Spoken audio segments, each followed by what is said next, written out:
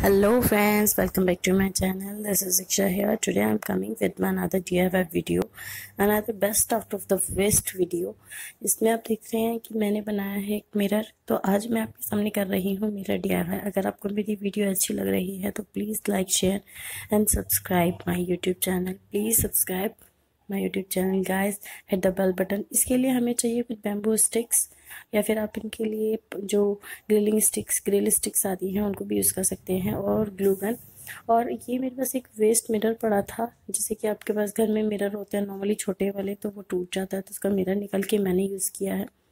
तो गाइज़ इसमें आपको इस तरह से ग्लू गन लगाते हुए और अपने बैम्बू स्टिक्स को अरेंज करना है।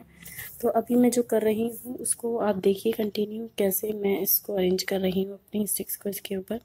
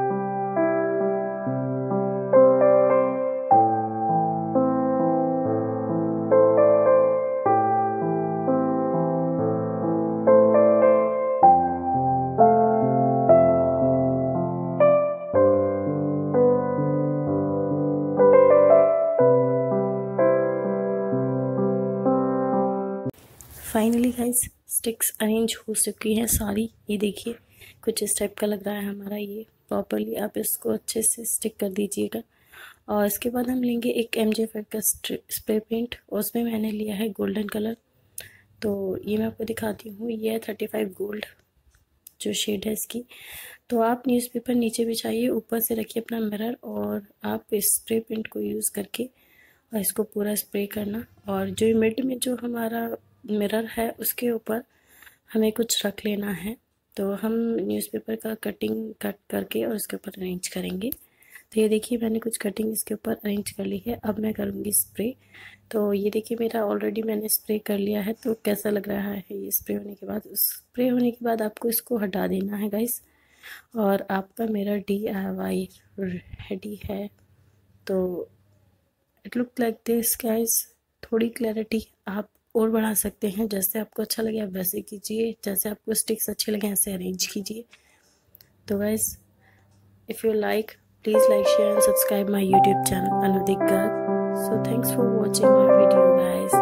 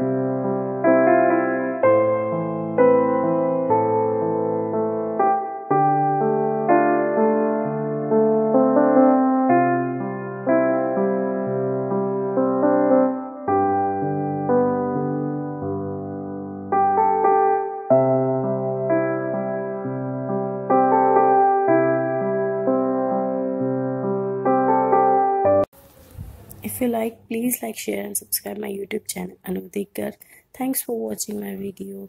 Thank you. Bye bye.